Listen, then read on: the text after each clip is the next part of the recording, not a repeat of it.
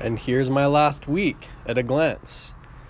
These are just some fittings for the cases in which I was working at at my uncle's engineering shop. I had to tape two pieces of tape on the bottom end of each fitting so that they fit snugly in the case. Here's a little bit of the shop. We have the office room. We have some printing devices for three-dimensional objects. We have Derek.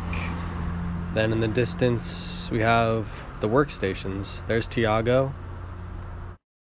Working on some more of those fittings within the casings. The whole environment itself was one in which you did the same process over and over and over. Very repetitive. However, pretty simple, you know, because you have so many people there working and designated tasks for each individual. This is me unwrapping some of the hydraulics which are used to open the devices upon a hinge mechanism. Work here wasn't as hard as it is in construction because that's what I've done the majority of my life, but I didn't get paid as well.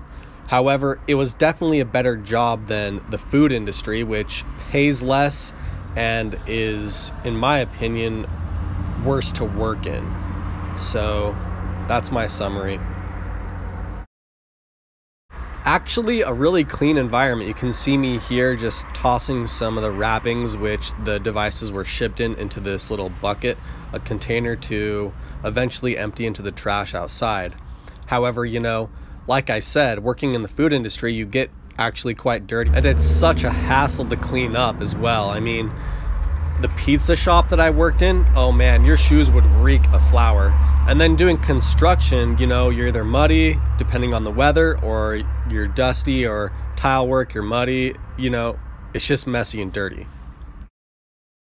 Here's kind of like an overhead view of me working, again on these push rods, which go inside of the casings that allow them to be, you know, hydraulically, mechanically opened, so to speak. Uh, just to give you some sense of how they work. I didn't necessarily get the procedure as to the beginning and finishing of the device being built itself because I didn't want to infringe upon my uncle's, you know, secrecy, so to say. Just super monotonous and tedious work. You can see me here clipping foam, which will eventually be utilized later on in the process. It's something that needs to be done, and you know, obviously, we don't have a robotic assembly line here for all of these mundane tasks. So somebody has to take over and do them. And, you know, during this holiday season in which they needed help, that was me. So here I am doing work. And in all honesty, it's a pretty good job. So can't complain that much.